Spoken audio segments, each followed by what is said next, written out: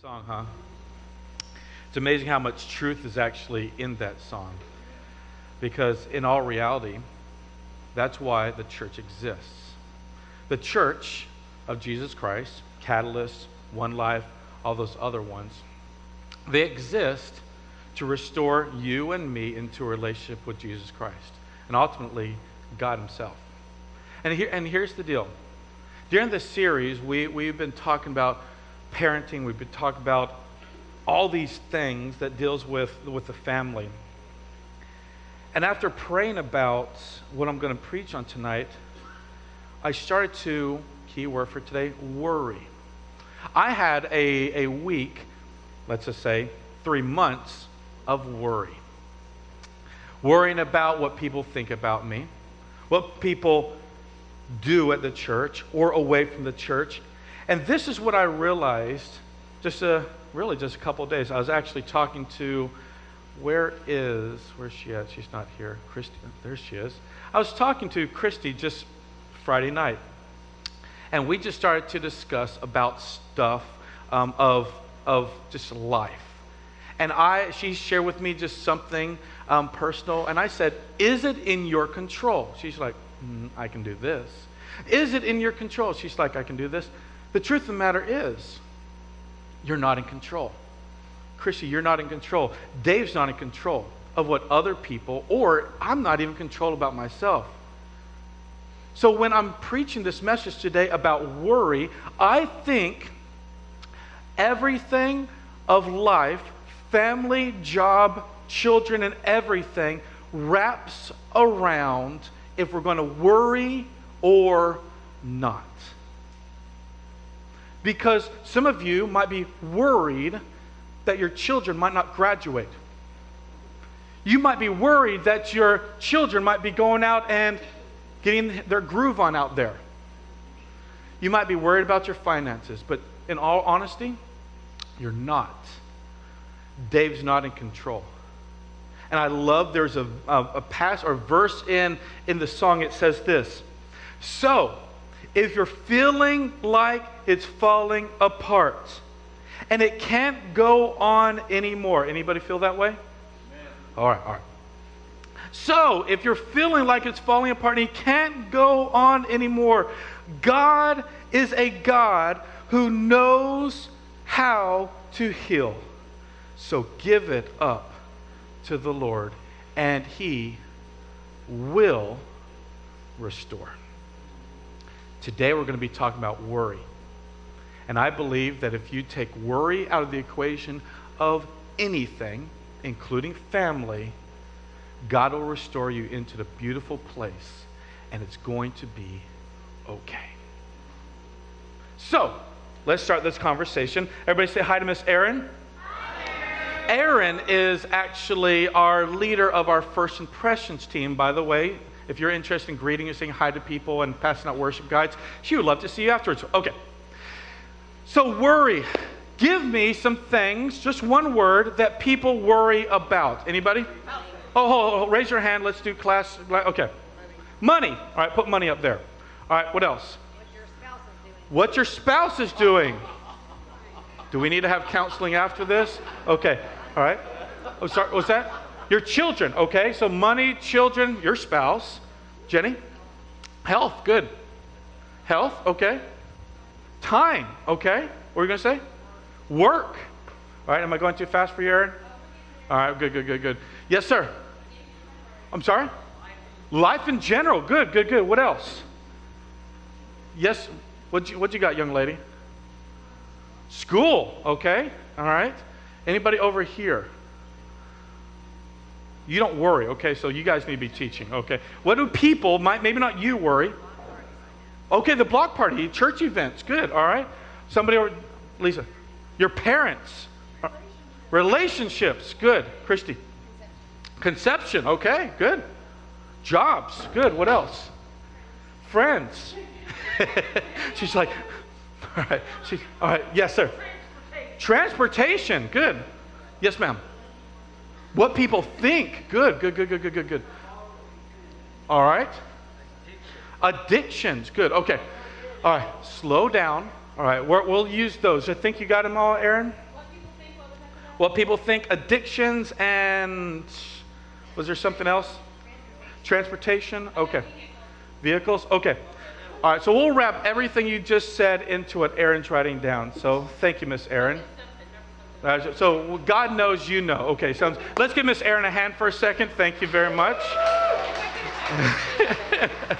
By the way, you can read this because I can't spell, so that's good. All right. Let me ask you this. Uh, just, just help me out for a second. There's a difference when it comes to worrying about something and controlling it. When we're talking about where I've got to pre- uh, put a preface on all this, worry, when we're talking about giving to God, giving it to God, is not this sitting on your butt and not doing anything about it. Okay, in other words, like the first one, if you're worried about money, don't sit on your butt and not get a job. Okay?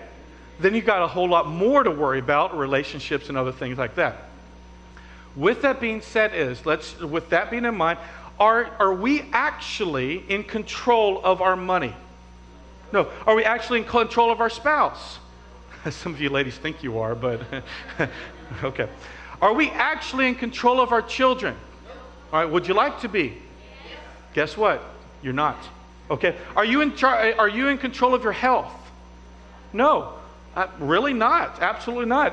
Right now, you could, you could have a heart attack and die right now. Don't do it. Jenny's a paramedic or whatever. I think we have a paramedic in here. Are, are, you actually, are you actually in control of your work? No. Could your, job, could your boss fire you just like that? Absolutely. Or if you're the boss, you could die. Okay. All right. uh, are, you, are you really in control of your life? Really not. Are you in, uh, you control school? No, church events. No, I'm not even, I can't even do that. Relationships, friends, parents, vehicles, what people think. Oh, my Lord. Are, do you, are you in control of what people think about you? So why do we worry? All right. Trust me, I'm preaching to myself this one. All right. Addictions. Okay. Are you in control? Are you seriously in control? All right you're not. And you could come up with all the scenarios in the world why you are. And if you come up with all the scenarios in the world why you are in, in control of all this, guess what? You're a control freak. You could die right now, and I hate that because I'm a control freak. But in all rea- But in reality is this. We worry and we should not.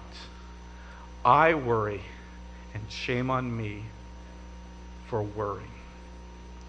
We're going to look into a passage right now that's going to revolutionize your life. What if I could tell you right now that what I'm about to share with you is a secret? That the Bible shares that if we would just do the following, you would never have to worry about money again. How many guys would be taking extra notes? Okay?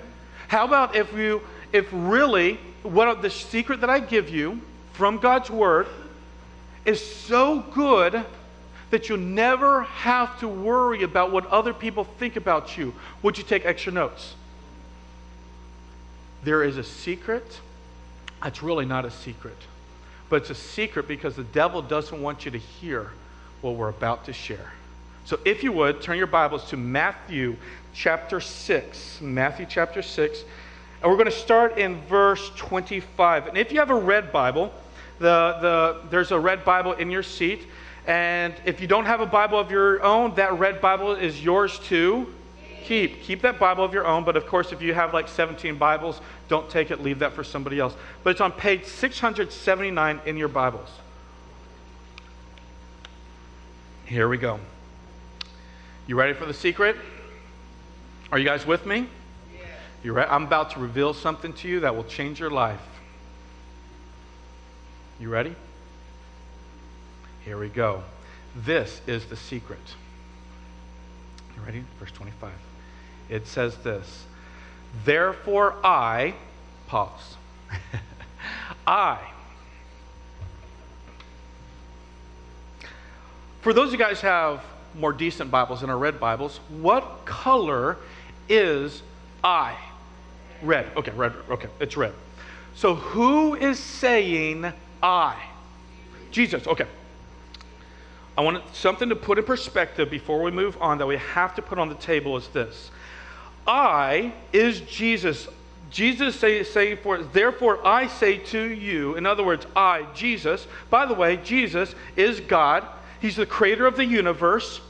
He's the creator of the flowers. He's the creator of everything. He's the creator of you. He's the creator of me. And He's the creator of all the beautiful creation. We just sang about the stars in the sky. We just sang about all this awesome stuff. And here's this I, this God, who, who simply says this says this I'm going to give you the secret of not worrying.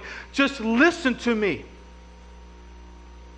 But many times we do this. We say, I know you, Jesus, God, think you know what's best for me, but I'm still going to worry about this. Think about that. God, the creator of you, the creator of life, the creator of the ground you walk on, and check, check, check, check, the air you're breathing right now. You're like, do we ever think about really breathing? Do you ever just think about breathing? Maybe Eric Jordan does, but um, all right. Think about this. We, if we actually thought, I, I, I tried this before. I tried this before, and it's actually scary. Don't do it now, or you'll pass out. If you actually think about breathing, you start actually hyperventilating because you and I are trying to control what God has already created your lungs and your esophagus and all what, whatever's doing this, whatever's in there that allows you to breathe. You're not even control of that. So God made this air so perfect that you and I can breathe. But immediately He could take it away just like that. That is the I that we're talking about here. I, God, that's in control of life is giving you a secret. You got the perspective? Okay. So it's this. Therefore, I, God, the creator of the universe, tell you, not just here's recommendation, I'm telling you this. Have you ever done that to your kids before? It's like they're doing something stupid and they, they, they come, hey, come here, Ethan. I do this all the time. Come here, Ethan. And he's like, What, Daddy? I'm like, I'm telling you to stop. That's the, the, dramatic talk that he's trying to do here. I, Daddy-O, who could kill you, son, not really, just don't call CPS, just, okay. I, the one who brought you into this world, I love that statement, that's awesome, especially now that I'm, I tell you, son, stop and listen to daddy because daddy knows best. not really, but it sounds good. Okay. That's the dramatic power that he's trying to shout out. He's saying, Therefore, I, the creator of the universe, is telling you the following Do not worry. The secret's out of the bag. Right? But we're worried. I'm worried. And shame on us for putting God in a box because God can do whatever He wants to. God can and will restore. Therefore, I tell you, don't worry about your life, what you'll eat, or what you'll drink, or your body, and what you're going to wear. Is not life more important than food, and the body more important than clothes? I, put in this perspective, what he's doing is this he's preaching to this crowd on, the, on a, a, mountain, and he's actually trying to preach to his disciples, his believers, his true believers. And but he's talking to this entire crowd, and this most of the entire crowd are poor. They, could, they don't know where they're going to get their food the next day. They don't know where they're going to get their drink the next day. They don't know. They might have two pairs of clothes. Two pairs of clothes. Okay, like that's two pairs of underwear. If you go on a vacation, how many pairs of underwear do you bring? 75. Okay. But you got the picture? They have two pairs of underwear, if they even wear underwear, but they have just a couple pairs of clothes and they're worried about the basics. So I'm putting this in perspective is this Jesus is talking to these people and said, Don't even worry about the basics of life because I've got your back. That's what he's saying. And we're worried about money, we're worried about transportation. And God's like, That's big, but you don't even worry about the little stuff because I've got it all taken care of. There are some things that I wrote down that causes people to worry. Few um, results of worry. And these are some things that I wrote down. Number one, by worrying, it could damage your health. True? When I worry, and, and if just don't start looking at my face, and you'll be able to tell I'm worried. When I worry, I break out in massive zits. You're like, that's sick. I'm leaving this church. You talk about zits in church. But I can't control it, but I worry, and it causes a chemical imbalance or whatever. I clean my face, but it just it's it's there. But true. Is it true? You get ulcers, you get you get you get stress, you get gray hairs, you get true? Will it affect your health? Okay. It consumes your thoughts, true? Absolutely. Worry consumes your thoughts. That's not healthy. Lack of productivity. True?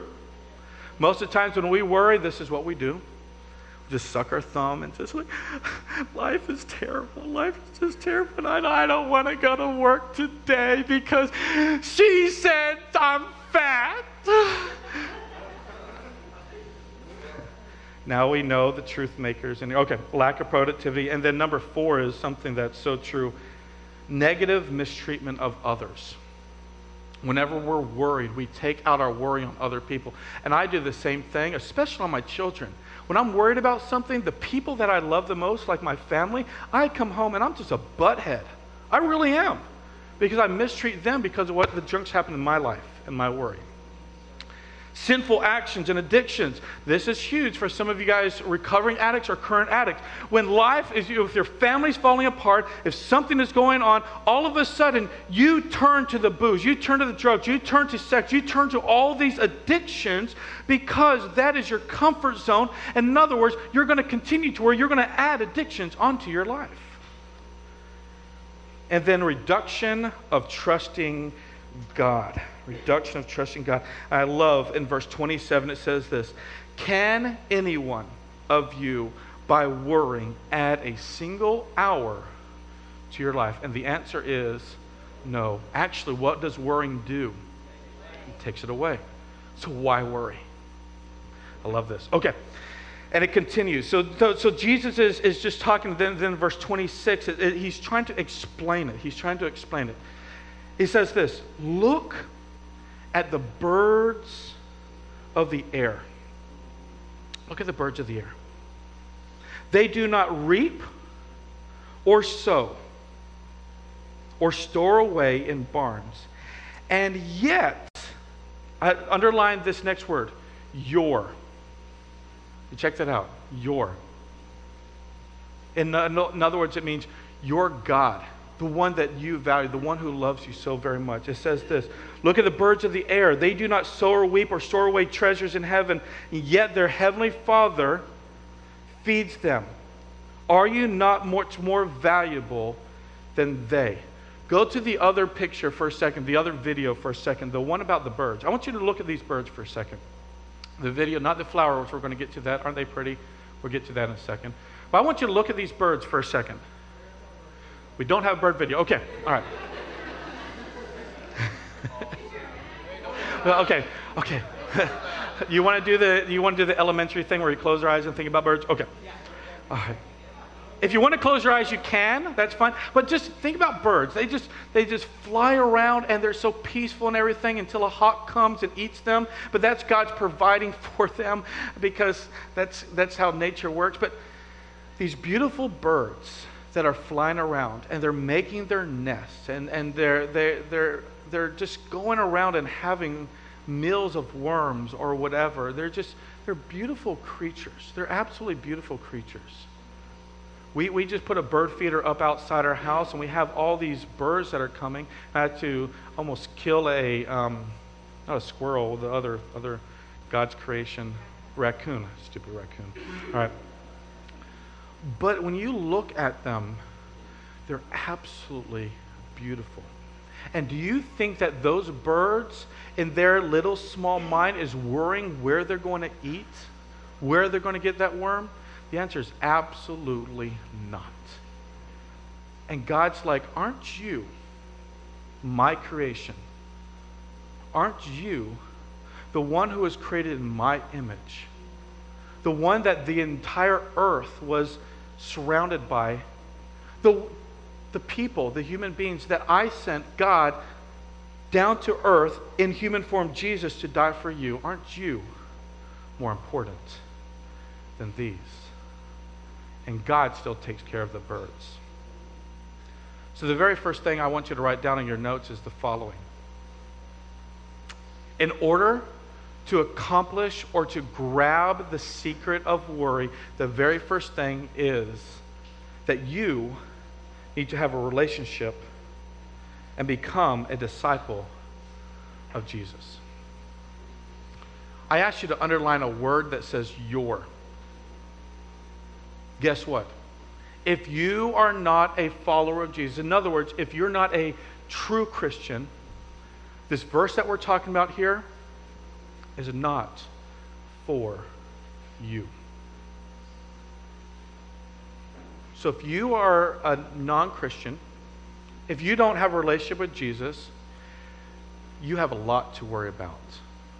But the very first thing that you need to focus in on is do you have a personal relationship with Jesus Christ? Do you have faith that God loves you enough? Yes, all, all your junk, everything about you. Do you believe that God seriously loves you enough, everything about you, and sent his only son to die for you, live the perfect life, died on the cross for your sins? He died for you so that you don't have to worry about your salvation, your eternity. So the very first thing is can you say your? In this passage, it says the following. Talks about the birds, and it says, and yet your, in other words, your God, you can't claim God as yours if you don't have Jesus Christ. Because there's a separation. So, this passage, the very first thing to stop your worry is start a relationship with Jesus Christ today. I'm going to give you an opportunity at the end. And then it says this in verse 28. Now you can put the flowers up. Okay, here we go. 28. And why do you worry about your clothes, women? I don't think it said women, but I think, why, why do you worry about your clothes? See how the lilies of the field grow.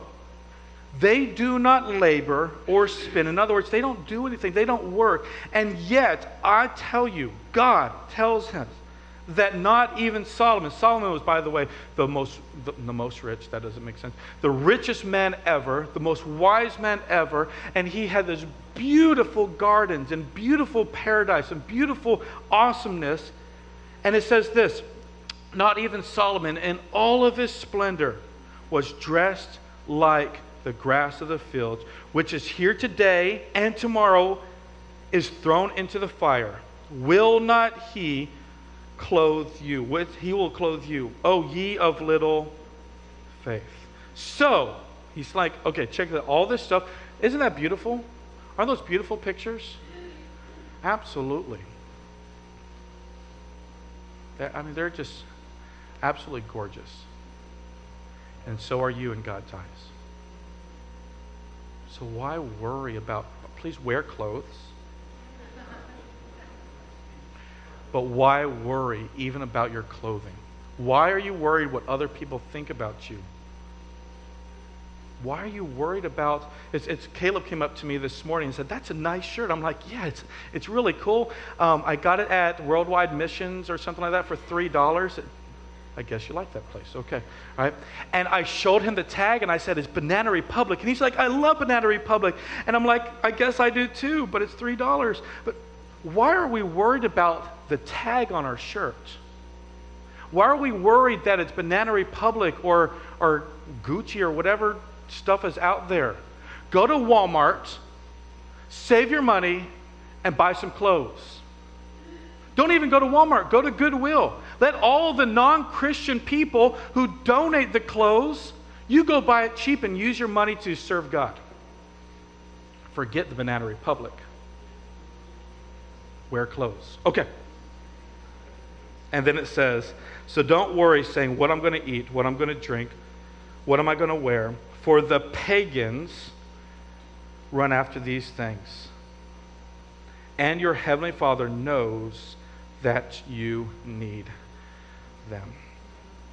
So, my challenge before giving up the rest of the secret is this simply, you need to start with a relationship with Jesus Christ. So, how do we? Because here, here's the thing I know what your mind is thinking, and I know there's worry warts in here. True? And I'm the, I'm the king of them, trust me. Why do we worry if God takes care of the birds, He takes care of the flowers, He takes care of everything we need? It's because we're sinful people wanting to control everything of life. True? I think the very first thing that we need to understand is you and I are not God. But God is God. And He will restore. So there's one verse that I'm about to share with you that wraps us all together. How do you, as a true Christ follower, so now I'm talking to you as Christ followers. By the way, if you're not a Christ follower, I already talked to you. You can take a nap for a second. All right? But if you are truly a Christ follower, this is how you access the don't worry. You ready to take some notes? The very first thing is this there's only two things prioritize everything around God's kingdom. Prioritize everything around whose kingdom? God's kingdom. This is what it says. But, he said, but, he's like, don't worry about all this stuff, but this is how you don't have to worry. But seek third, right? Oh man, you should have jumped on that one real quick. Okay. But seek, desire after first his kingdom.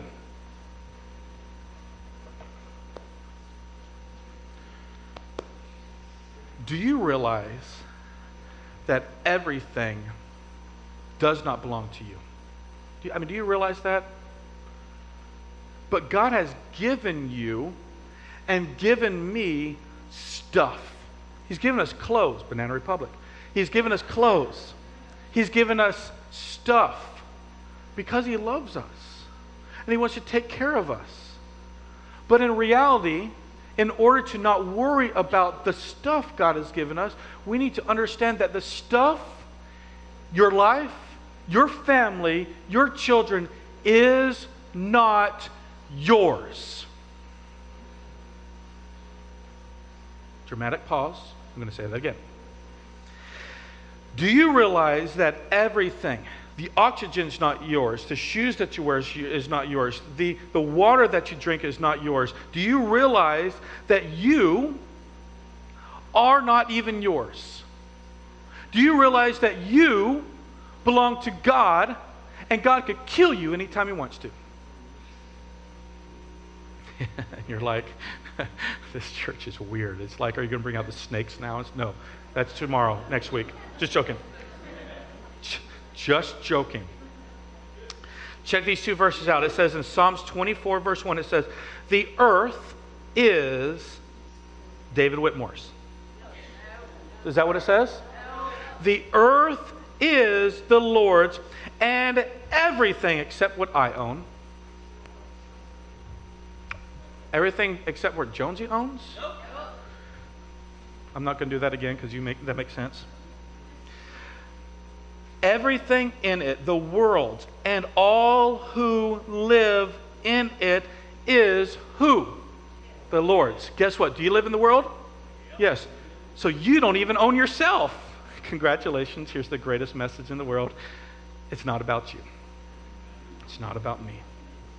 So stop worrying about things that you're out of control about.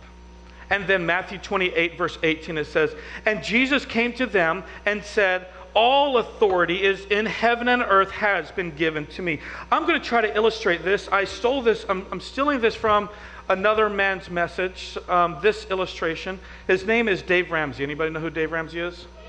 Yeah. Okay. So actually, it's actually good stuff. Okay. All right, so let's see. Caleb, come up here. Ronnie, come on up here. All right. Everybody say hi to Ronnie. Don't mess with him, he's a minor. All right. And everybody knows Caleb? All right. Everybody say hi to Caleb. Hi, Caleb. All right. I'm going to give you an illustration. And this illustration is probably the most expensive illustration that I've ever and will ever do. And whatever's in this package, gentlemen, I will need it back. you can't promise it? This is God stuff, not because, okay. Ronnie, step right here. Ronnie, in this package right here is $100. The original illustration was 1000 but we don't have 1000 Also $100. Ronnie, I am going to let you hold on to this. And remember, this is an illustration, and this money comes back to me. Okay. Okay. What's that? Who's worrying now? there, there, you go. So, for this illustration's sake, um, Caleb, you're going to represent a bank. A banker doesn't look like it, but you're a banker, okay? All right, so you're a banker.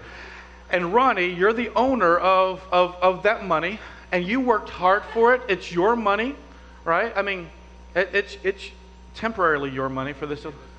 Oh, yeah, you want to give this to the bank? All right, illustration, work with me. Okay. So you've worked hard for this money. That money is your money, and you've decided to take a portion of your money and give it over to the bank. So give it over to the bank. Yeah, all of it. I mean, not to Caleb. all right. All right, okay. So here's the scenario. This person right here has, has just worked, he's worked hard, it's his money, and he's given a portion of his money, his belongings, um, over to the bank. Got the picture? Then all of a sudden, it's Mother's Day, and, and Ronnie wants to buy something nice for his mother or, or his beloved wife. And he walks into the bank and he's like, Hey, banker, give me my money. the banker in this case says, um, Sir, you know that money that I gave you? That money I thought that it was a gift to me to do whatever I wanted to do with it. And the money that. and the money, that'll actually work out very well in a couple minutes. He's going to.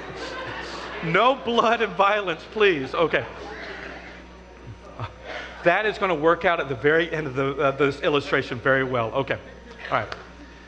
The money that was given to the banker, and the banker has basically said, here's the deal. I went out and I went on a cruise with your money. It's spent. I can't give it back or I cannot use it for you. And the banker, he's like, I'm, I'm sorry, but the money is gone. The money has disappeared. The money is not there. I, I used it on myself. Was that money the bankers to spend? Okay. It was not the bankers to spend because it belonged to the owner. But the owner trusted the bank to hold on to the money for protection. That at any time the owner could come to the bank and said, I need to withdraw so that I can use it for my purposes. How would that make you feel? How does that make you feel, Ronnie? We're in church, okay. All right. How many of you guys are going to get really ticked off? How many of you guys, oh, take it, banker, you're fine. I hope you enjoyed the cruise. I can't pay for diapers, but thank you. All right? Only one of you guys, okay. All right. But here's the deal. I'm going to I'm going to of course, twist it. This is actually how God is. Ronnie represents God. And Caleb represents us. God has entrusted his money, his family, his world, his car, his church to us so that one day he's going to ask you and me to do something with the money for his sake. He's going to ask you one day to do something with your family for his sake. He's going to ask you one day to do something with your life that doesn't belong to you anyway for his sake. But we waste our money. And all God, money wise, asks you to obey and says, I'm going to give you 90% of what I'm going to give you. I'm just asking for 10% back of my money. But do we waste God's money? Do we waste our family? Do we waste our life? That's a rhetorical question that you need to ask yourself because point one is simply this that you need to make sure you prioritize everything for the kingdom of God. Let's give these guys a hand and give me my money back. All right, you got this? Oh, you're going to key him. All right, sounds good. Put that deep into my pocket. Okay. So, with that being said, there's just one more thing. It says, Seek ye first his kingdom. And then the next passage says, Seek ye first his kingdom and what? His righteousness. So, in order to not worry, number one, realize it's not yours. Number two, live as if you belong to God. As if everything you do, God's saying good job or bad job. Because we need to live a righteous and holy and set apart life. And if you really look at this, I mean, just, um, just these are your things, not mine if we live a righteous life and be obedient to God and saying, it's your money, not mine, would we have to worry about our money if we're doing what we're supposed to do with it? Would we have to worry about our spouse if we would do what we're supposed to do and you and your spouse would worry about living a righteous life? Not worry, but do be a righteous person. Would we have to worry about our spouse? If our spouse was a righteous person and lived that out, right? We wouldn't have to worry about that. Our children, if we as parents would do our best to raise our children and model what righteous and holy living was, I don't think our children, including mine, would be as jacked up as they are. Time, if we manage our time, you go throughout this entire list and listen. Just the statement we say around here is listen to God and do what He says. Listen to God, the creator of all, and listen. Your life is not yours, and listen. Live like he wants you because you don't belong to you, you belong to God. And you're like, who are you to tell me that? God. So, my challenge to you is the, the following Are you going to worry anymore? The answer is probably yes. But my challenge to you is this try not to worry. But some of you right now have dug a hole so deep financially, so deep with your children, so deep that it's going to be a, it's going to have to be a miracle not to worry about the junk that you have dug deep in your life and with your children and your finances. But guess what? God is a God who can restore.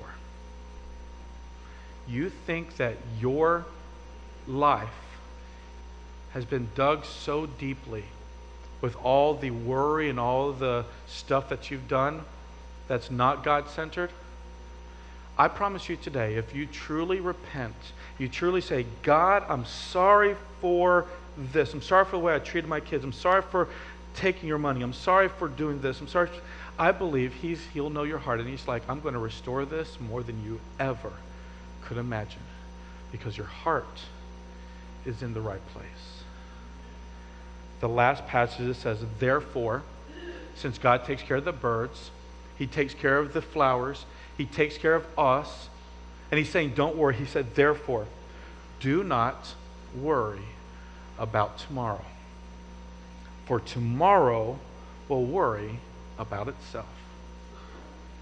Each day has enough trouble of its own. So simply, today starts your days of worry. And may it not happen anymore. So, we're going to do something kind of practical at the very end. Does everybody have a worship guide? If not, just, just write on a piece of paper or something. And this is my challenge. My challenge to you is the following I'm going to encourage you, while the band sings in a second, to write down your worries. I believe there's a spot on your worship guide for that, right? Yeah, write down your worries. And I've got a challenge for you. And the challenge is simply this pick three of your worries, three, just, just three, three of your worries, and for one month, I'm not saying change your entire life, I'm saying for one month, just my challenge. For one month, choose three things and manage it like Jesus would. So maybe it's your money. For one month, I'm going to tithe. For one month, I'm going to not waste my money. For one month, I'm going to make sure my children are right the way Jesus went. So, so three things that you're worried about, write them down. My challenge is for you for one month, focus those three things on Jesus and watch a miracle happen with the right heart.